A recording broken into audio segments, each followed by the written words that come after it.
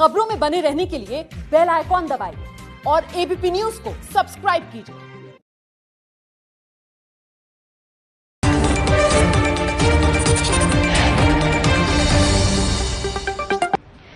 नमस्कार। Master stroke में आप सभी का बहुत बहुत स्वागत है। आपके साथ हूँ मैं, रूबिका लियाकत।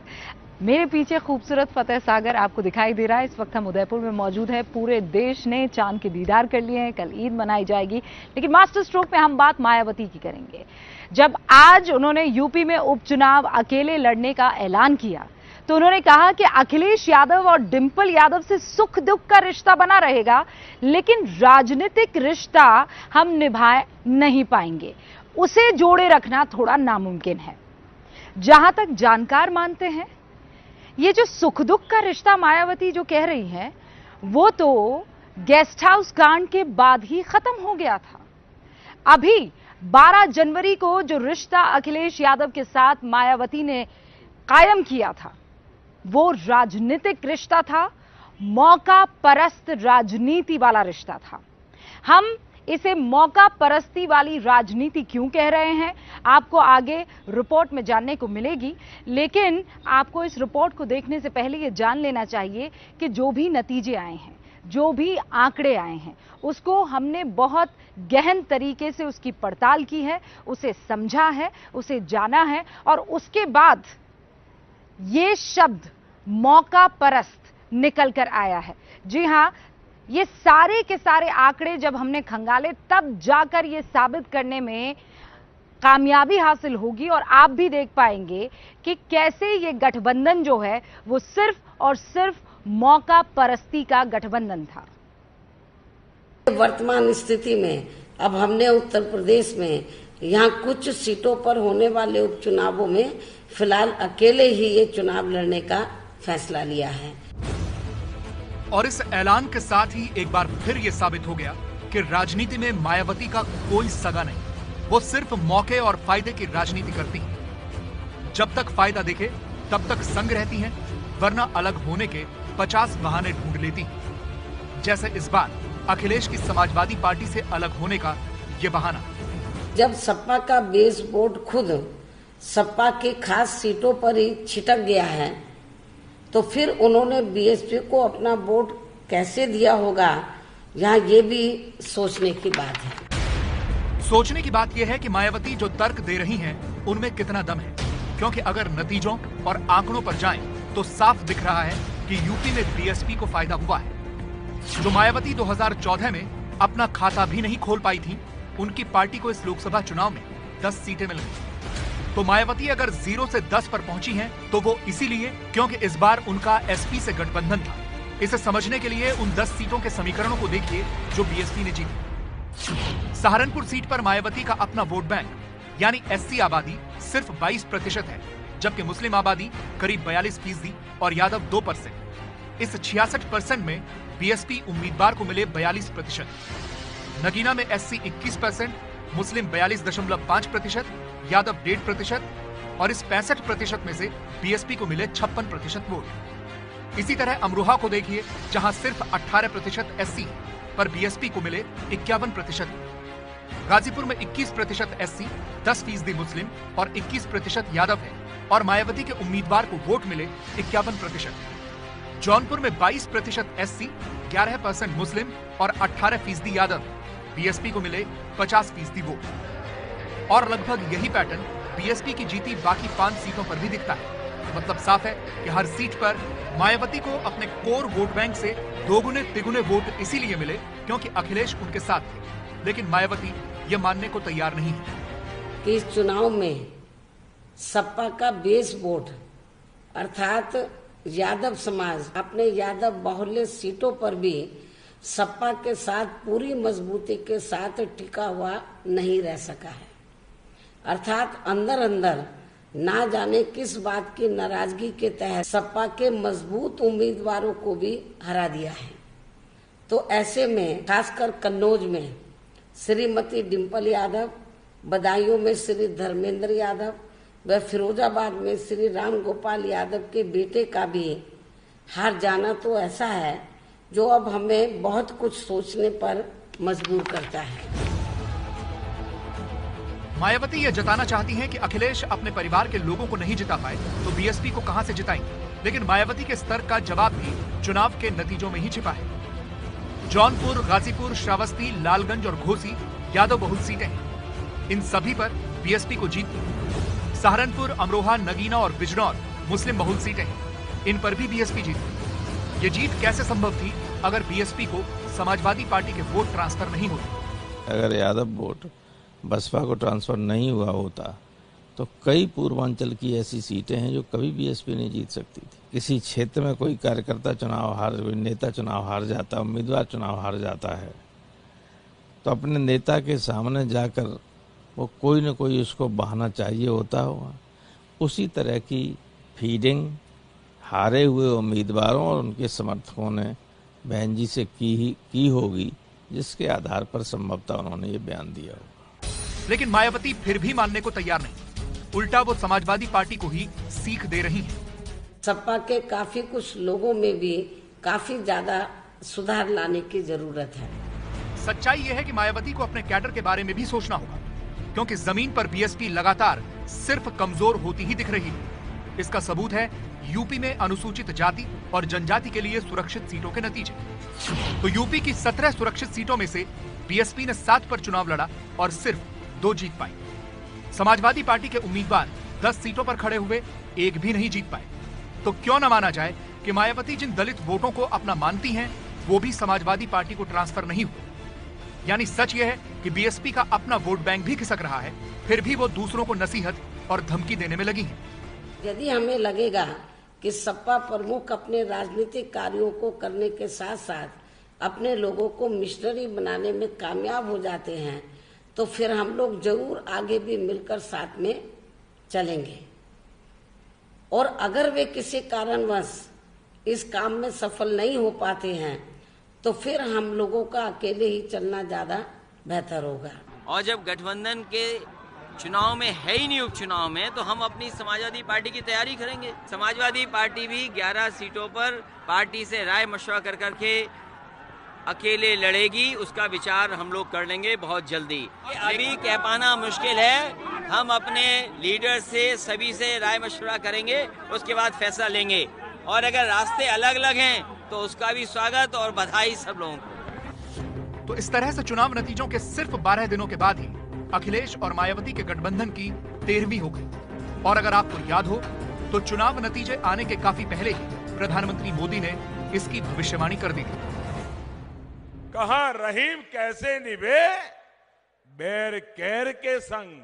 इनकी एक्सपायरी डेट तेईस तारीख शाम को पक्की है। तेईस को नतीजा आएगा, एक दूसरे के कपड़े फाड़ देंगे।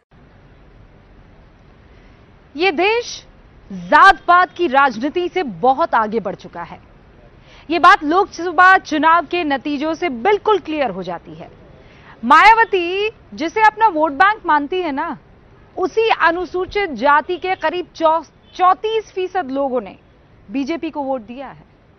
ओबीसी पर भी आप जानते हैं, कई अलग अलग पार्टियाँ अपना अपना दावा ठोकती है और उसी ओबीसी के 45 फ़ीसद लोगों ने बीजेपी को इस बार अपनी पसंद बनाया है। मायावती ये समझ नहीं पा रही है कि भारत की राजनीति अब बहुत तेज़ी से बदल गई है। वो धर्म पर नहीं चलती है अब योजनाओं पर और सुविधाओं पर चल रही है। मायावती जी को आप प्रधानमंत्री के रूप में सपोर्ट करेंगे? आपको पता है कि मैं किसको सपोर्ट करूँगा। और मैंने पहले भी कहा और आज फिर कहता हूँ कि उत्तर प्रदेश ने हमेशा प्रधानमंत्री दिया है और हमें खुशी होगी कि उत्तर प्रदेश से फिर एक प्रधानमंत्री बने। याद कीजिए, इसी साल 12 जनवरी को जब अखिलेश से प्रधानमंत्री पद के उम्मीदवार को लेकर सवाल पूछा गया तो जवाब पर मायावती कैसे मुस्कुरा रही थी? साफ़ है, जिन हसरतों को पूरा करने के लिए मायावती ने समाजवादी पार्टी से 24 साल पुरानी दुश्मनी भुला दी, वो एक झटके में टूट गई। एसपी, बीएसपी के साथ आने के सारे समीकरण धरे के धरे रह गए। क्योंकि मोदी ने इस चुनाव में जातियों के जाल में फंसी राजनीति को ही पलट दिया। अब इक्कीसवीं सदी में भारत में एक जाति है गरीब। भारत की एक जाति है गरीब। और दूसरी जाति है देश को गरीबी से मुक्त कराने के लिए कुछ न कुछ अपना योगदान देने वालों की। 2014 से पहले तक उत्तर प्रदेश में जातियों के सहारे कभी समाजवादी पार्टी तो कभी बहुजन समाज पार्टी सत्ता हथियाते रहे। 2014 लोकसभा चुनाव में जब बीजेपी ने 80 में से 71 सीटें जीती तो ये दोनों पार्टियाँ औंधे मुँह गिर पड़ी। उससे सबक लेते हुए इस बार एसपी बीएसपी ने जातियों का समीकरण चलाया और हाथ मिलाया लेकिन अंक गणित काम नहीं आया। चाहे वो 2014 हो 2017 हो या 2019 हो, हो। देश के राजनीतिक विश्लेषकों को मानना होगा कि एरेथमेटिक के आगे भी केमिस्ट्री होती है। आदर्शों और संकल्पों की जो केमिस्ट्री है, वे कभी कभी सारे गुणा भाग सारे अंक गणित को निरस्त कर देती है, पराजित कर देती है। और इस बार अंक गणित को केमिस्ट्री ने पराजित किया है। उत्तर प्रदेश में बीजेपी को 80 में से बासठ सीटें मिली हैं और इसके पीछे वजह यह थी कि बीजेपी को हर जाति का वोट मिले। यादवों को छोड़ दें तो अन्य पिछड़े वर्गों का बहत्तर फ़ीसदी वोट बीजेपी को गया। यादवों के भी तेईस फ़ीसदी वोट बीजेपी को मिले। जाटवों को छोड़कर अनुसूचित जाति के बाकी वोटों में से 48 फ़ीसदी बीजेपी के खाते में गया। बीएसपी के वोट बैंक माने जाने वाले जाटवों के भी 17 फ़ीसदी लोगों ने बीजेपी को वोट दिया। कुर्मी कोयरी का 80 फ़ीसदी वोट बीजेपी को मिला। यानी बीजेपी ने अखिलेश और मायावती दोनों के वोट बैंक में सेंध लगाई और यही चोट मायावती सहन नहीं कर पा रही बीएसपी का बेस वोट व सपा का अपना बेस वोट जुड़ने के बाद फिर इन सबको कतई भी हारना नहीं चाहिए था। इनकी हार का हमारी पार्टी को भी बहुत ज़्यादा दुख है। मायावती इसलिए दुखी हैं क्योंकि जब उन्होंने महागठबंधन में शामिल होने का फैसला किया था तो उनके दिमाग में सिर्फ़ और सिर्फ़ जाति का गणित चल रहा था। यूपी में ओबीसी 42 से 45 फ़ीसदी है, जिनमें से यादव 10 प्रतिशत है। अनुसूचित जाति की आबादी करीब 22 फ़ीसदी है और मुस्लिम 19 प्रतिशत है। यानी मायावती मानकर चल रही थी कि अगर 10 प्रतिशत यादव 22 फ़ीसदी अनुसूचित जाति और 19 फ़ीसदी मुस्लिमों के वोट भी मिल गए तो वो यूपी में अपनी खोई हुई ज़मीन वापस पा लेंगे लेकिन नतीजे बताते हैं कि मायावती ये भूल गईं कि नरेंद्र मोदी ने जाति की राजनीति को खत्म कर दिया है। मोदी अपनी योजनाओं के ज़रिए गरीबों के घर तक पहुँचे। जातियों के बंधन को तोड़ दिया और नतीजा ये हुआ कि अब यूपी में कोई भी जाति किसी पार्टी का वोट बैंक नहीं है। मायावती जितनी जल्दी ये बात समझ लेंगी उतना उनके लिए बेहतर होगा। बड़ा अजीब इत्तेफाक है ना। 2 जून याद कीजिए, उन्नीस सौ पंचानवे, गेस्ट हाउस कांड जब हुआ, वो ऐसी राजनीतिक घटना थी जिसने बीएसपी और समाजवादी पार्टी को एक दूसरे का जानी दुश्मन बना दिया। लेकिन 25 साल बाद मोदी को हराने के लिए मायावती और अखिलेश यादव फ्रंट फुट पर आए। खूब खेले फ्रंट फुट पर खेले। लेकिन उसके बाद यह भी इत्तेफाक है कि 2 जून के बाद मायावती ने अखिलेश यादव की पार्टी, यानी समाजवादी पार्टी से अलग होने की प्लानिंग शुरू कर दी। तो क्या यह मान लिया जाए कि मायावती ने अखिलेश यादव की पार्टी समाजवादी पार्टी से, मायावती ने मुलायम सिंह यादव से मायावती ने तमाम समाजवादी पार्टी के कार्यकर्ताओं से वो जो उन्नीस सौ पंचानवे में हुआ था, उसका बदला लिया। इसमें कोई संदेह नहीं है कि जब से बीएसपी व सपा का गठबंधन हुआ है तो तब से खासकर सपा प्रमुख श्री अखिलेश यादव व उनकी पत्नी श्रीमती डिम्पल यादव भी मुझे पूरे दिल से व पूरे आदर सम्मान से, अपना बड़ा व आदर्श मानकर मेरी बहुत इज़्ज़त करते हैं। और और मैंने भी उनको अपने सभी पुराने गिल्ले सिकुओं को भुलाकर व्यापक देश व जनहित में तथा अपने बड़े होने के नाते भी उसी हिसाब से उनको अपने खुद के परिवार की तरह ही पूरा पूरा आदर सम्मान भी दिया है। और हमारे ये रिश्ते केवल अपने राजनीतिक स्वार्थ के लिए ही नहीं बने हैं, बल्कि ये रिश्ते आगे भी हर सुख दुख की घड़ी में हमेशा ऐसे ही बने रहेंगे। आगे क्या होगा, ये तो कोई नहीं जानता, लेकिन पीछे क्या क्या हुआ, ये सब जानते हैं। मायावती ने आज जब समाजवादी पार्टी से अपना रिश्ता तोड़ा तो उनकी ज़ुबान पर यह सच आ ही गया कि यह गठबंधन दरअसल राजनीतिक स्वार्थ के लिए बना था। हमारे ये रिश्ते केवल अपने राजनीतिक स्वार्थ के लिए ही नहीं बने हैं। हमारे ये रिश्ते केवल अपने राजनीतिक स्वार्थ के लिए ही नहीं बने हैं। राजनीतिक स्वार्थ ही मायावती का इतिहास रहा है। उन्नीस से लेकर अब तक मायावती यही करती रही हैं। उन्नीस सौ बानवे में अयोध्या में विवादित ढांचा ढहने के बाद देश में बीजेपी की लहर थी। तब बीएसपी के मुखिया काशीराम ने मुलायम से हाथ मिलाया। मिले मुलायम काशीराम, हवा में उड़ गए जय श्री राम के नारों के बीच उन्नीस सौ तिरानवे में पहली बार एसपी, बीएसपी ने मिलकर चुनाव लड़ा। उस गठबंधन की सरकार बनी, मुलायम सिंह यूपी के मुख्यमंत्री बने, लेकिन मायावती से ज़्यादा लंबे समय तक ये देखा नहीं गया।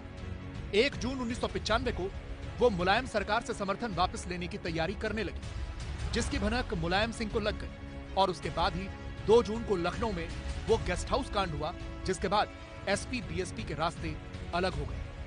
लेकिन मायावती अगले ही दिन, यानी 3 जून उन्नीस को बीजेपी के समर्थन से यूपी के मुख्यमंत्री बन गए। दो साल बाद उन्नीस सौ सत्तानवे में मायावती ने मुख्यमंत्री बनने के लिए फिर बीजेपी का साथ लिया। तय हुआ कि छह छह महीने में दोनों के मुख्यमंत्री बनेंगे। मायावती ने अपने छह महीने पूरे करने के बाद से कल्याण सिंह के लिए परेशानियाँ खड़ी करनी शुरू कर दी। और आखिरकार बीजेपी सरकार से समर्थन वापस ले लिया। मायावती जी जिनको भारतीय जनता पार्टी ने मुख्यमंत्री बनाया जब भाजपा की सगी नहीं हुई तो अखिलेश जी क्या होंगी? और अखिलेश यादव जी जो अपने पिता और चाचा के नहीं हुए तो बसपा मायावती जी के क्या होंगे? मायावती के धोखे की यह कहानी सिर्फ़ यूपी तक सीमित नहीं है। उन्नीस सौ निन्यानवे में मायावती ने अटल बिहारी वाजपेयी की सरकार के विश्वास प्रस्ताव के समर्थन का भरोसा दिया। लेकिन बहस शुरू होते ही वो उसके खिलाफ हो गई। 2008 में उन्होंने अचानक केंद्र की मनमोहन सरकार से समर्थन वापस ले लिया। और अब समाजवादी पार्टी से अलग होकर एक बार फिर मायावती ने अपना असली रंग दिखा दिया है। तेईस मई को नतीजे आए और मोदी के हक में जब ज़बरदस्त फैसला आया तो सोशल मीडिया पर एक बात बहुत जोरों शोरों से चलने लगी। जात पात के एजेंडे को तोड़कर लोगों ने मोदी को वोट किया तो कहा गया कि ये मोदी जात है। मोदी जात से मतलब कोई जात या कोई धर्म नहीं था। वो विकास की योजनाएँ और एजेंडे से कहीं ना कहीं प्रभावित मोदी जात थी। यानी ये वो जात है जो सिर्फ़ और सिर्फ़ विकास को अपनी प्रायोरिटी में रखती है। और इसीलिए हिंदुस्तान की बदल राजनी, बदलती हुई राजनीति को मौका परस्त राजनीति करने वालों को समझना होगा। मास्टर स्ट्रोक यही है। जाति की बात छोड़ो, विकास के एजेंडे से देश को जोड़ो। मास्टर स्ट्रोक में अब बात करेंगे हम गिरिराज सिंह की, जिन्हें इस बार राज्य मंत्री स्वतंत्र प्रभार से प्रमोट करके कैबिनेट मंत्री बना दिया गया। आज इसी कैबिनेट मंत्री को खूब डांट पड़ी है, और डांटा है इस देश के होम मिनिस्टर अमित शाह ने। कड़ी चेतावनी दी। गिरिराज सिंह ने एक ट्वीट किया था और गठबंधन दलों के नेताओं की इफ्तार पार्टी पर सवाल उठाए थे। फलाहार सिर्फ़ और इफ़, सिर्फ़ इफ्तार ऐसी जब बातें कही गई तो उनको डांट पड़ी। ऐसी बयानबाजी नहीं करनी है। अगर आइंदा से की तो कड़ी कार्रवाई होगी। ऐसी जानकारी हमें मिल रही है कहा गया अमित शाह की तरफ़ से। लेकिन खबर सिर्फ़ इतनी नहीं है। खबर एनडीए में नीतीश की नाराज़गी भी है, जिसकी वजह से अमित शाह को गिरिराज को डांट लगानी पड़ी।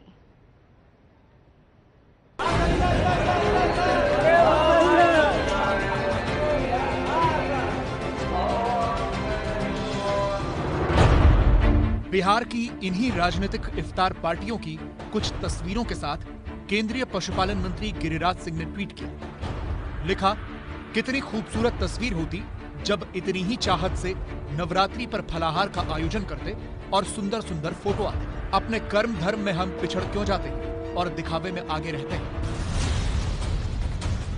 इस ट्वीट के साथ जो तस्वीरें थी, उनमें नीतीश कुमार, जीतन राम मांझी, रामविलास पासवान, उनके बेटे चिराग पासवान दिख रहे थे। और एक तस्वीर में तो खुद बीजेपी के वरिष्ठ नेता और बिहार के डिप्टी सीएम सुशील मोदी भी थे।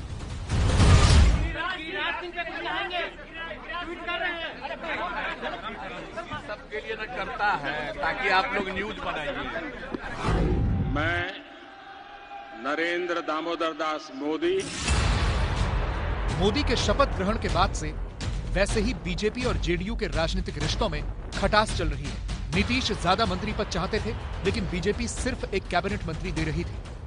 इसलिए नीतीश केंद्र सरकार में शामिल ही नहीं हुए। हालाँकि उनका दावा है कि सब ठीक है। लेकिन सब ठीक कहाँ है? थोड़ा सा जो गठबंधन धर्म का लिहाज था भी वो गिरिराज सिंह के ट्वीट से हट गए इस तरह का जो बयान और ट्वीट किए हैं ये, बिल्कुल ही लगता है कि मानसिक रूप से बीमार व्यक्ति ही दे सकते हैं। हम लोग दिखा हम लोग पूजा नहीं करते हैं कि हम लोग हिंदू नहीं हैं। इनके ऐसा ढोंग नहीं रचते हैं। हम लोग टोपी भी लगाते हैं टीका भी लगाते हैं। इनके जैसा नहीं है कि मंदिर बनाएँगे लेकिन तारीख नहीं बताएँगे। मैं श्री गिरिराज सिंह को प्रधानमंत्री जी का एक चित्र भी भेज रहा हूँ। जिसमें प्रधानमंत्री जी दुनिया की सबसे बड़ी मस्जिद, जो आबू धाबी में स्थित है, वहाँ के शेख जायद और इमाम के साथ, बड़ी मोहब्बत के साथ पूरी मस्जिद का निरीक्षण कर रहे हैं। जेडीयू को कहने का मौका मिल गया। उसके नेता खुलेआम गिरिराज सिंह के बहाने पूरी बीजेपी को ही निशाने पर ले रहे हैं। लेकिन धर्म संकट की स्थिति रामविलास पासवान के लिए खड़ी हो गई, जो गिरिराज सिंह पर सवाल सुनते ही भाग खड़े हो। जी गिरिराज सिंह ने आज ट्वीट किया जो आपने इफ्तार का आयोजन किया था उसकी एक तस्वीर साझा की है ट्विटर पे। का उन्होंने कहा है कि काश ऐसे तस्वीर नवरात्रि के अवसर पर भी साझा करते नीतीश कुमार रामविलास पासवान। चलिए अब क्या कोई बोलते उस पर हम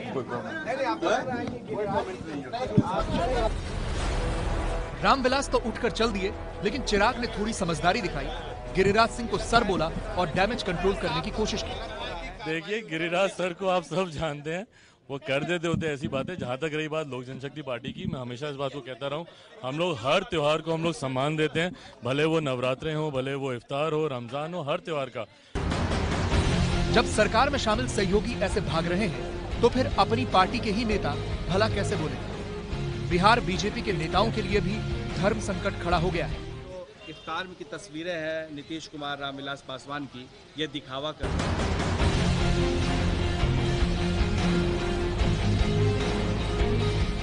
नफरत की बात नहीं है। सब समावेशी, सब दृष्टिकोण स्पष्ट में, इसमें कहीं भी कोई कठिनाई नहीं है। देखिए, केंद्र में नीतीश कुमार की जेडीयू ने कोई भी मंत्री पद नहीं लिया ये आप जानते हैं। और इधर बिहार में नीतीश कैबिनेट का विस्तार हुआ तो बीजेपी ने अपने हिस्से की जो सीट थी, उसको छोड़ दिया है। तो साफ़ तौर पर यह बताता है कि दोनों के बीच में कुछ तो गड़बड़ है। ऑल इज़ नॉट वेल दोनों ही पार्टियाँ बहुत इत्मीनान से टिट फॉर टैट की राजनीति कर रही है। लेकिन फ़िलहाल अगर आप दोनों को कंपेयर करें तो बीजेपी का पलड़ा सीधे तौर पर भारी नज़र आ रहा है। यही वजह है कि नीतीश कुमार प्रेशर टैक्टिक्स कर रहे हैं। मास्टर स्ट्रोक यही है। दोनों ही पार्टियों के लिए है कि मंत्री के नाम पर खटास अब कैसे बढ़ेगा विश्वास? इस देश के नए गृह मंत्री अमित शाह से जुड़ी हुई। अमित शाह ने 1 जून, यानी शनिवार को गृह मंत्रालय में अपना नया काम संभाला। उसी दिन जम्मू कश्मीर के राज्यपाल सत्यपाल मलिक से उन्होंने मुलाकात की। उसी दिन यह भी पता लग गया पूरे देश को कि गृह मंत्री के एजेंडे में सबसे ऊपर प्राथमिकता उनकी क्या है। उसके बाद कश्मीर को लेकर अमित शाह ने बहुत सारी मीटिंग्स की है। और आज ये खबर हमें मिली कि गृह मंत्रालय ने कुछ आतंकवादियों की लिस्ट तैयार की है। उनके खात्मे की डेडलाइन भी जारी कर दी है। लगता यही है कि गृह मंत्री अमित शाह, गृह राज्य मंत्री जी किशन रेड्डी और नित्यानंद राय और एनएसए अजीत डोभाल की टीम ने मिशन कश्मीर का फाइनल चैप्टर एकदम तैयार कर लिया है।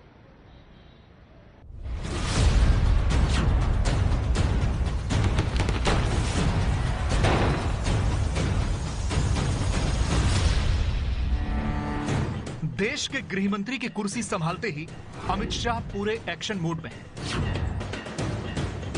एजेंडे में सबसे ऊपर कश्मीर है और आतंकियों की यह लिस्ट उसी एक्शन मोड का ब्लूप्रिंट है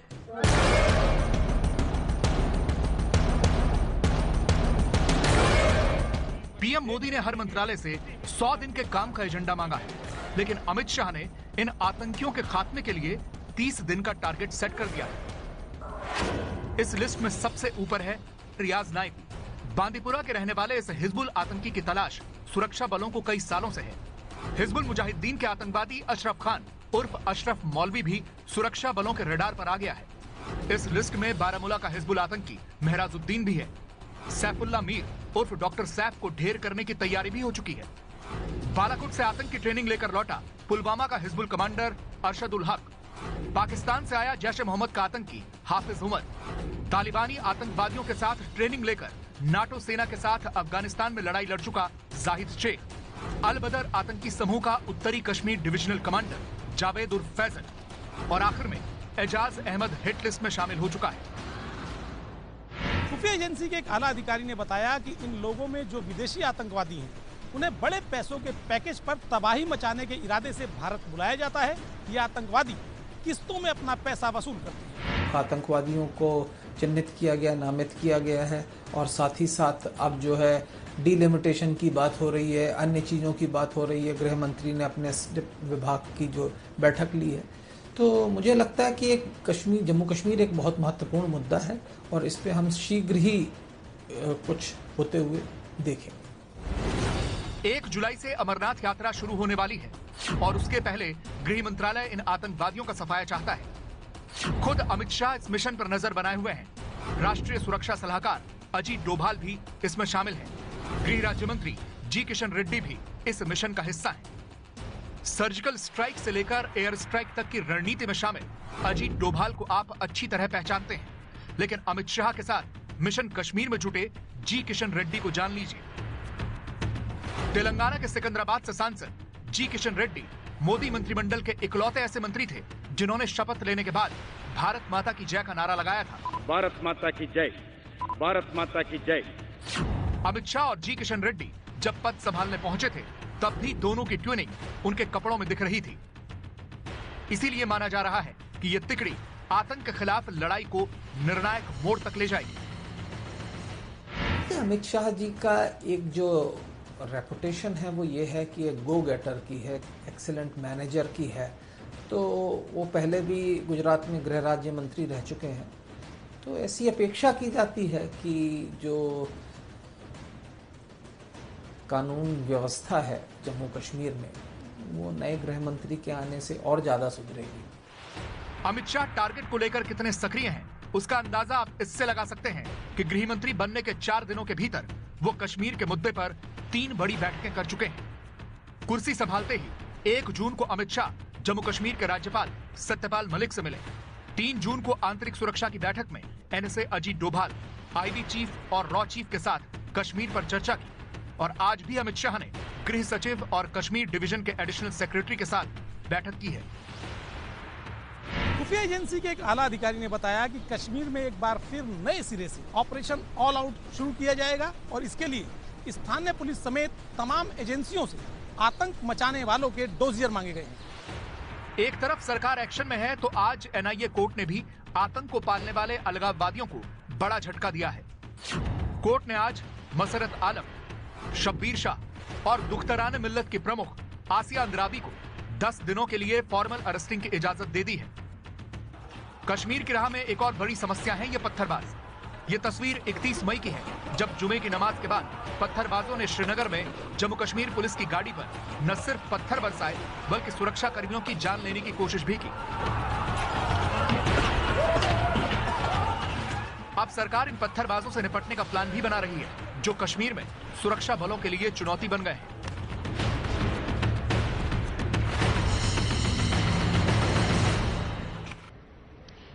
गृह मंत्री के तौर पर अमित शाह ने बहुत सारी चुनौतियों को पहले ही समझ और परख लिया है और सबसे बड़ी चुनौती उसमें से कश्मीर है।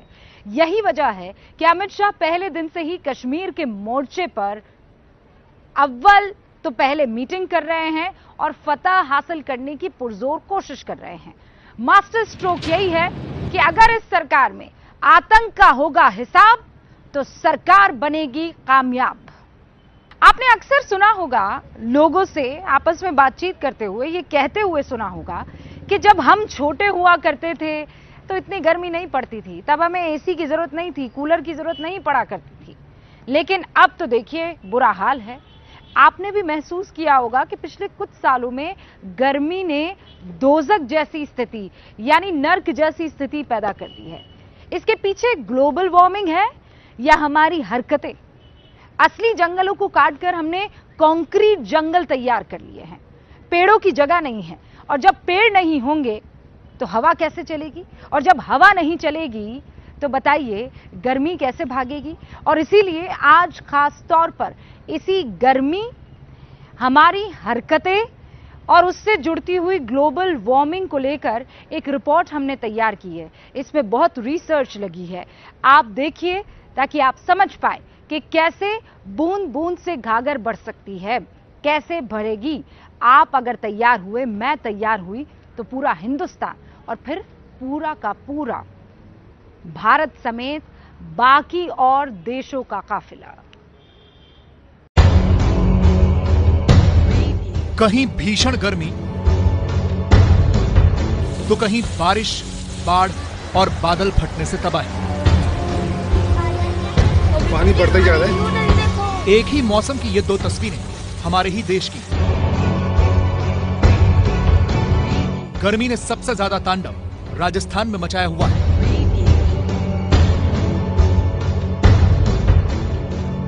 ये राजस्थान का कोटा शहर है, जहाँ आजकल सुबह नहीं होती, सीधे दोपहर होती है। बिना मुँह और सिर ढके बाहर जाने का मतलब है झुलस जाना। आज भी यहाँ तापमान सैंतालीस डिग्री सेल्सियस था गर्मी तो बहुत तेज पड़ रही है लेकिन बाहर निकलने की हिम्मत नहीं लेकिन काम की वजह से निकलना पड़ता है। इस गर्मी से बहुत ज़्यादा परेशान है लेकिन मैं सभी से एक बात कहना चाहूँगा कि इस गर्मी का कारण ढूंढे कटते हुए पेड़। राजस्थान के बूंदी में तो सारे रिकॉर्ड टूट गए। यहाँ तापमान 50 डिग्री के पार पहुँच गया है। सड़कों से गर्म लू के थपेड़े निकल रहे हैं इसलिए प्रशासन ने सड़कों पर बीस हज़ार लीटर पानी का छिड़काव किया है। हालात ये है कि सुबह 10 बजते ही इन सड़कों पर सन्नाटा पसर जाता है। आज बूंदी ज़िले में गर्मी बहुत ही ज़्यादा है। तापमान 50 डिग्री के ऊपर जा चुका है। बूंदी की सड़कों पर पानी का छिड़काव किया जा रहा है।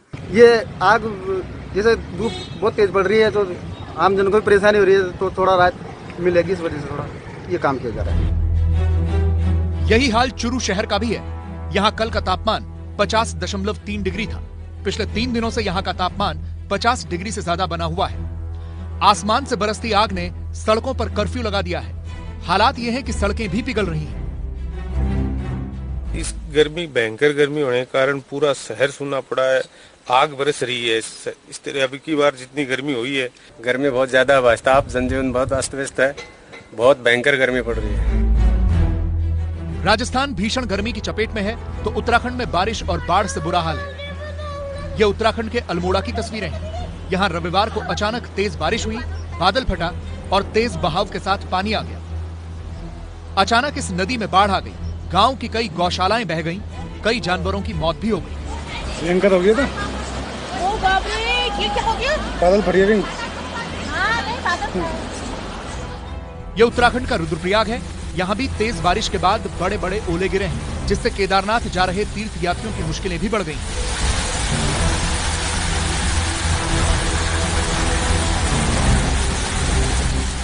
तो कहीं गर्मी और कहीं बारिश का ये विरोधाभास क्यों है? आपने लोगों को ये कहते हुए सुना होगा कि जब हम छोटे थे, तब इतनी गर्मी नहीं पड़ती थी। एक लिहाज से यह बात सही है। भारतीय मौसम विभाग 1901 से मौसम के आंकड़े इकट्ठे करता है और भारत के 11 सबसे गर्म साल पिछले 15 सालों में ही रिकॉर्ड हुए हैं। 1901 से 2018 तक औसतन तापमान में शून्य दशमलव छह डिग्री सेल्सियस की बढ़ोतरी हुई है। हमारे कार्बन एमिशंस और दूसरे देशों की कार्बन एमिशंस की वजह से विश्व ओवरऑल गर्म होता जा रहा है। तो जो टेम्परेचर है, वो ऑलरेडी अराउंड वन डिग्रीज बढ़ चुका है और बहुत लोग को बहुत फ़िक्र है कि ऐसे अगर चलता रहेगा तो गर्मी इतनी बढ़ जाएगी कि हमारा जो जो लोग हैं वो सरवाइव नहीं कर पाएँगे। आज हमारे पास कुछ और ऐसे आंकड़े हैं जो आपके होश उड़ाने वाले हैं। पूरी दुनिया में हर एक व्यक्ति पर औसतन 422 पेड़ हैं, जबकि भारत में एक व्यक्ति पर औसतन सिर्फ़ 28 पेड़ हैं। चीन में 130, अमेरिका में 699 और रूस में एक व्यक्ति पर औसतन 4,856 पेड़ हैं। ये आंकड़े बताते हैं कि पेड़ लगाने में हम भारतवासी बहुत पीछे हैं भारत चाहे तो फिलीपींस से बहुत कुछ सीख सकता है बीसवीं सदी में यहाँ का वन क्षेत्र 70 प्रतिशत से घटकर 20 फ़ीसदी पर सिमट गया था इसके बाद अब देश को फिर से हरा भरा बनाने के लिए सरकार को नया कानून बनाना पड़ा। कानून यह है कि ग्रेजुएशन पूरा करने से पहले छात्रों के लिए कम से कम 10 पौधे लगाना अनिवार्य है। पूरी दुनिया में ज़्यादा से ज़्यादा पेड़ लगाने की इसलिए ज़रूरत है क्योंकि 1000 पेड़ 3.7 टन कार्बन डाइऑक्साइड को सोख लेते हैं और हर दिन करीब ढाई टन ऑक्सीजन देते हैं।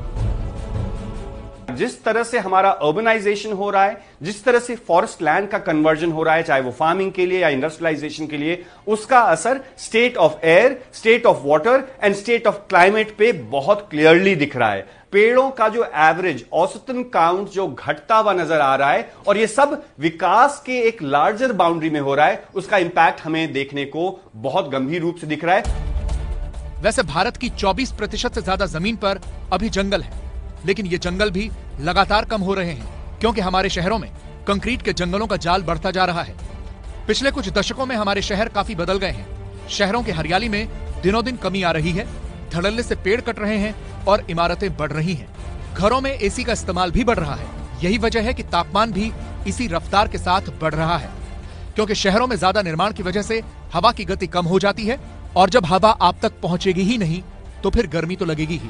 इसलिए बेहतर है कि ज़्यादा से ज़्यादा पेड़ लगाइए और इस धरती को और ज़्यादा गर्म होने से बचाइए।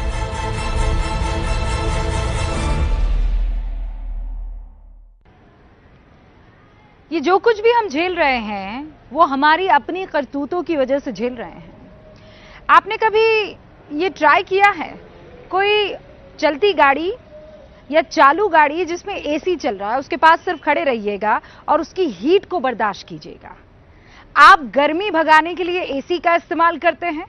वो एसी जब इस्तेमाल किया जाता है तो वो गर्मी बढ़ाने में, ग्लोबल वार्मिंग में और ज़्यादा योगदान देता है।